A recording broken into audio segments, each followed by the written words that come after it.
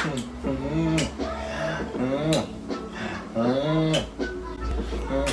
pabunya ka, Chelsea?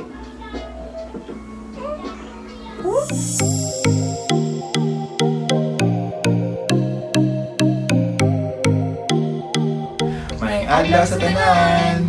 For those who are new to our channel, I'm Anne. People also call me Maye. And my name is Franz. My friends call me Dax. And And this is... my name is Chelsea. Chelsea. Chelsea Maya. Hi.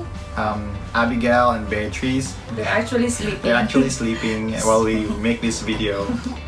We would like to thank you guys for continue watching our videos. And for those who haven't subscribed, please do subscribe now. Click the notification bell and um, like this video.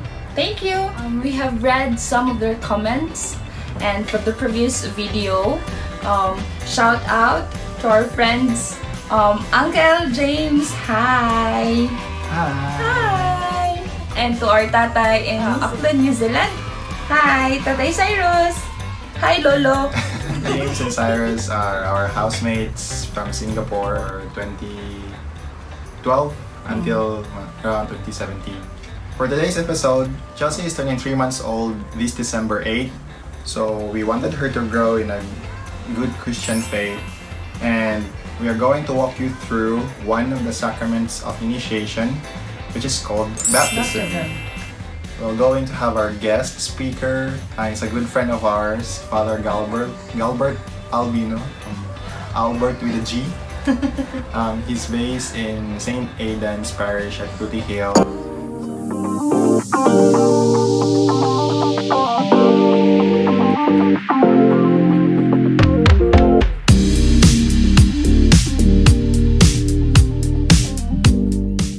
We're here in front of the church, um, St. Aidan's Catholic Church. So we're here to book uh, the appointment for Chelsea's baptism. And we'll just show you the church and inside the church and the office. So say. Hi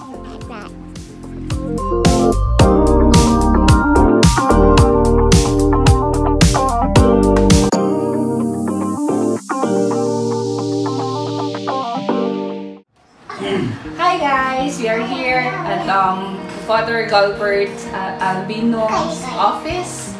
So actually we're here because um, we're going to submit the requirements for Chelsea's baptism. So I have few questions kay Father um, frequently asked by some of our friends and relatives and also me. So, Padre, I have a question. what is baptism? Baptism actually is it purifies um, it purifies our original sin, cleansing away the original sin that we have inherited from our first parents.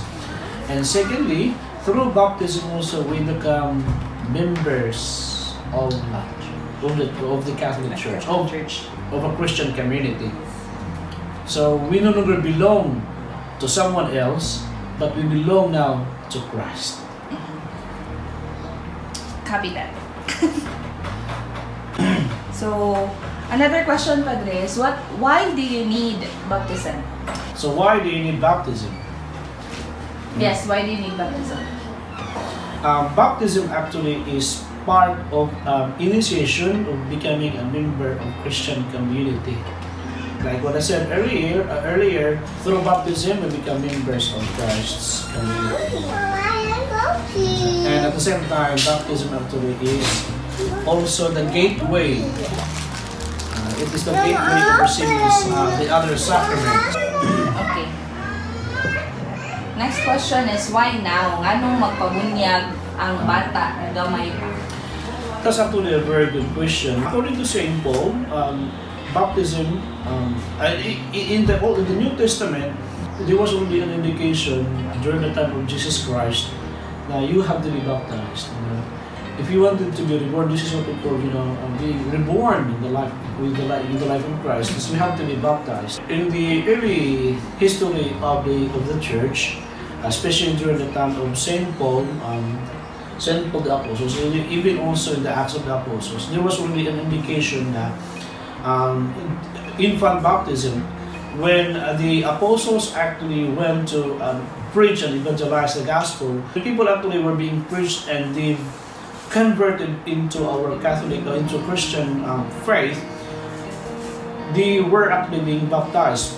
So now there was an indication that all the household actually were all, were all baptized. So an indication was that all the members of the household that also includes uh, children or small children, even though there was no explicit uh, information na api ng mga bata, but the understanding of all the house, uh, all household members, it implicitly telling us na even mga young age, mga infant, they were also being baptized. Pero di ba pa din na ay duha or na, nabasa lang online na ay infant baptism o adult baptism.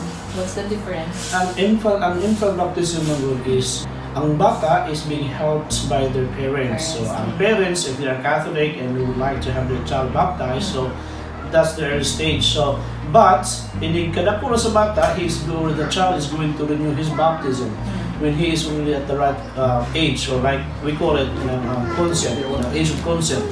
So he's going to, the child actually is, uh, is going to renew his baptism.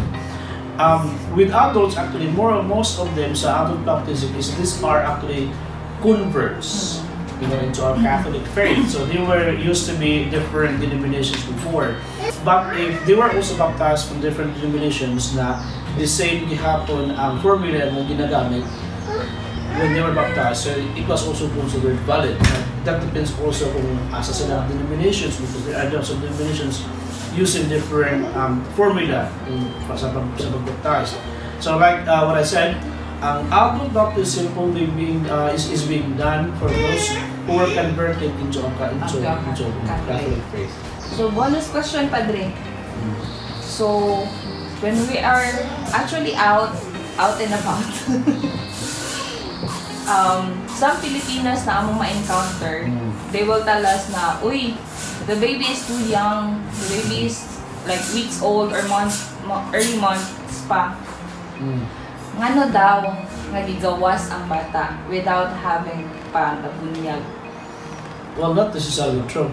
Tama na, totoo rin na, pero eh, much better ng good nga, mas, ah, mas, mas, mas nindot good nga, as early as mga few days pa lang, kung capable na ang okay ng parents, mas better good nga, mabunyagan sa iyo ang bata. There is no um, mga tuo-tuo, even especially in the Catholic teaching nga, hindi na paggawas ang bata kung wala pa ikuan, bunyan. Grace, actually the grace of God, can penetrate to everyone um, because we cannot underestimate the love and goodness of God that He has given towards us. Sa atong nga pagtuo-tuo na kung igiwas ang bata, nothing to do with our Catholic teaching. So, daghan king salamat, Padre. Some of our questions already answered. So, actually guys, these two twins were baptized by Father Galbert before Two years ago. two years ago. He was still a deacon. Yeah, he was still a deacon that time.